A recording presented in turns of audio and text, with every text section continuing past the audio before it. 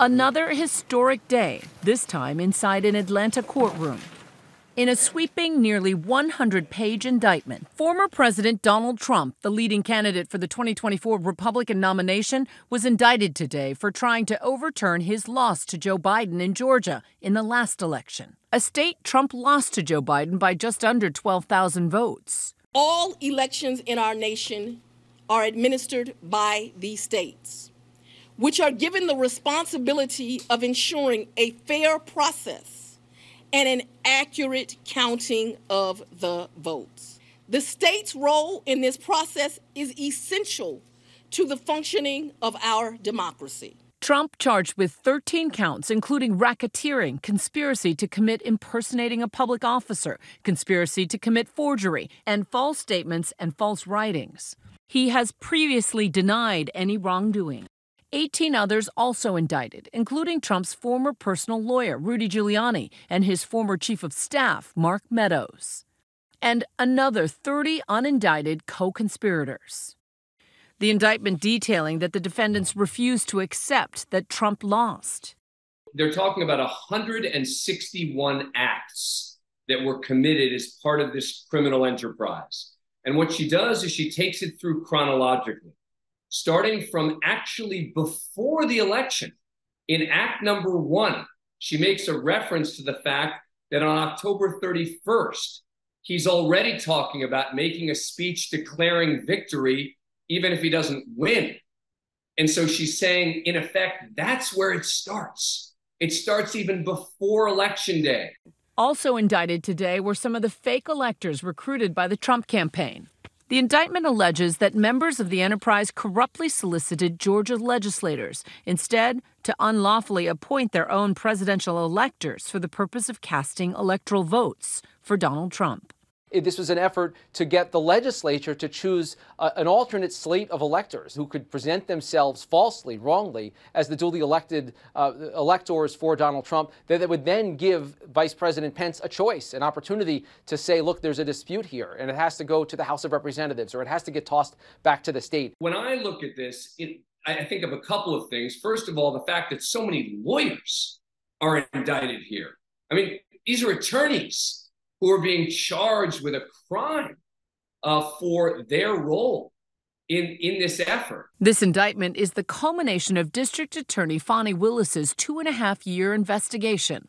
Meanwhile, President elect Biden is now projected to win the state of Georgia, the first time a Democrat has done that in nearly 30 years. In November 2020, two recounts in Georgia, including one requested by Trump, showing the same result.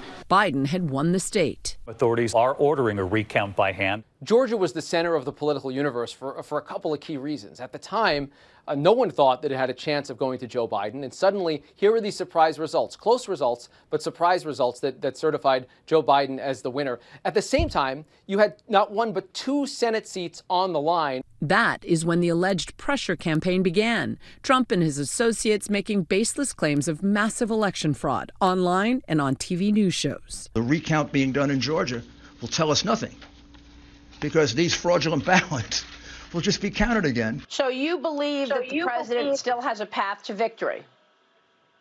Multiple paths, yes, absolutely. Through the legislature and through the court. And we're seeing the results in multiple states where we're now identifying specific votes flipped like in a couple of Georgia counties. With every passing verdict that went against Donald Trump, you saw an increase in the rhetoric around the idea that this election had been stolen or falsified or that there was sufficient chicanery, dead people voting. Death threats, physical threats, intimidation. It's too much.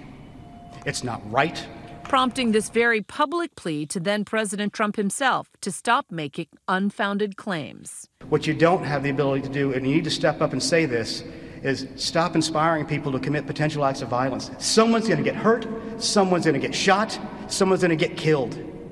In one instance, included in the indictment, Trump and his allies targeting two Fulton County poll workers, Ruby Freeman and her daughter, Shaye Moss.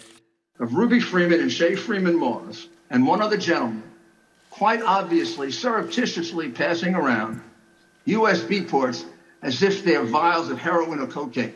This surveillance video from election night edited and manipulated to allegedly show Ruby passing Shaye a USB drive of stolen votes. In emotional testimony before the January 6th committee last year, Shaye explained that it was something completely innocent. What was your mom actually handing you on that video? A ginger mint. The mother and daughter telling ABC News exclusively how their lives were turned upside down by threats from Trump supporters. They were saying that I should be hung. Me and my mom will die. And, you know, like burning crosses. It's like a slap in the face. Like, just very hateful things. They would say really, really bad racist stuff, you know. We know where you live. We coming to get you. In the weeks that followed, the former president's false election fraud claims went far beyond poll workers. We know the Democrats will have dead people voting and you got to watch it. Dead people, you wouldn't believe how many illegal aliens from out of the state, and they'll be filing out and filling out ballots for people who don't even exist. There's no way we lost Georgia. There's no way. A rigged, that was a rigged election, but we're still fighting it. This was a concerted effort, um, legal, political, uh, it's certainly one that involved big aspects of public relations that, that sought to exert pressure on elected officials to try to change the outcome of an election. The indictment also alleging that Trump, along with Mark Meadows, pressured a public official to violate his oath of office in early January 2021. All I want to do is this I just want to find uh, 11,780 votes. In a call with Georgia's Secretary of State Brad Raffensperger, pressuring him for more than an hour to find the votes needed to overturn Biden's win. So, what are we going to do here, folks? I only need 11,000 votes. Fellas, I need 11,000 votes. Give me a break. Raffensperger later testified before the January 6th committee about that very call. Was the president here asking you for exactly what he wanted? One more vote than his opponent. What I knew is that we didn't have any votes to find. We had continued to look. Uh, we investigated, like I just shared the numbers with you. There were no votes to find. That was an accurate count that had been certified. Fani Willis opened her investigation shortly after. I am going to look at anyone that attempted to influence the November 2020 election. And as news surfaced that she was preparing for indictments, Trump repeatedly and loudly attacked her online and during campaign rallies. Right next door in Georgia, the racist district attorney goes after me for a perfect phone call, even more perfect than the call I made to Ukraine. This is the second indictment against the former president this month.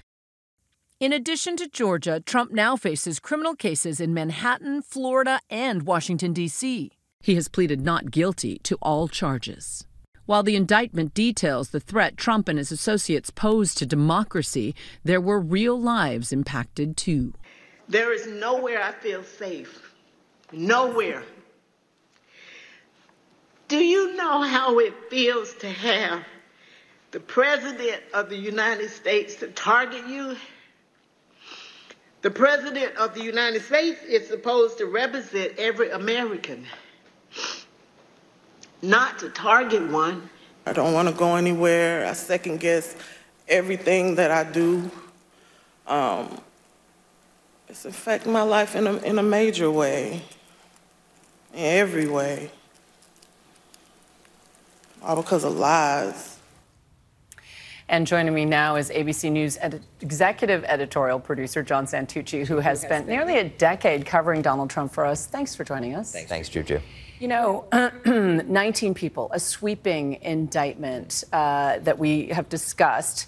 Some of Trump's closest advisors, Mark Meadows, his former chief of staff, Rudy Giuliani, yeah. Sidney Powell. And yet, your reporting suggests that when he was briefed on the names and Rudy came up, yeah, it hit different. Rudy struck him more than anything else, which is fascinating, Juju, because, you know, Donald Trump and personal relationships, he doesn't really have many. He doesn't really have many friends, many associates that he's close to. But Rudy Giuliani is different. He is someone that he has had a relationship for nearly 30 years. He is a New Yorker through and through, like Donald Trump. So to look at that relationship, to think that the two of them are now on an indictment together, I'm told by multiple people the prospect of it, just when Donald Trump was thinking about this days ago, it really stuck him. And yet, Fani Willis has said this evening that he may, she may try all 19 co-conspirators together. Do you think Donald Trump is concerned that any of them might flip? Oh, I, I think Donald Trump is freaking out about it because, listen, Donald Trump knows at the end of the day that nobody wants to go to jail. Let's be clear. Donald Trump also knows that he cannot give anybody a pardon in this case. He's not president anymore, that's clear. But even if he did become president, this is a state case. This is incredibly different. I'm told that, among other things, they're trying to figure out contacts with some people because, look, these are people that Donald Trump hasn't necessarily spoken to in the last two years. So that's going to be a real critical thing right now. Where does everybody stand and Team Trump trying to figure that out? Well, John Santucci, as always, we appreciate your insights. Thanks for joining us. Thanks, Juju. Hi, everyone. George Stephanopoulos here. Thanks for checking out the ABC News YouTube channel. If you'd like to get more videos, show highlights, and watch live event coverage, click on the right over here to subscribe to our channel. And don't forget to download the ABC News app for breaking news alerts. Thanks for watching.